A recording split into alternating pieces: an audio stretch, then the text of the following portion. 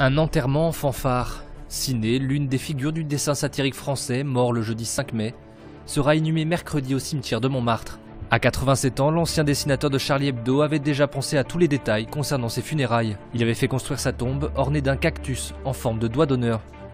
Dans sa dernière chronique pour Ciné Mensuel, le journal satirique qu'il a créé en 2011, Ciné écrit C'est horriblement chiant de ne penser obsessionnellement qu'à sa mort qui approche, à ses futurs obsèques et au chagrin de ses proches. Il évoquait aussi la mort qui rôde et fouine sans arrêt autour de moi, comme un cochon truffier. Sur sa page Facebook, le journal invite chacun à adresser un dernier doigt d'honneur avec Ciné au cimetière Montmartre. La revue précise aussi que la commémoration ne suffit pas, on veut continuer le combat, alors le film Mourir plutôt crever, qui retrace les coups de génie de Ciné, sera projeté vendredi soir à Nuit debout, sur la place de la République.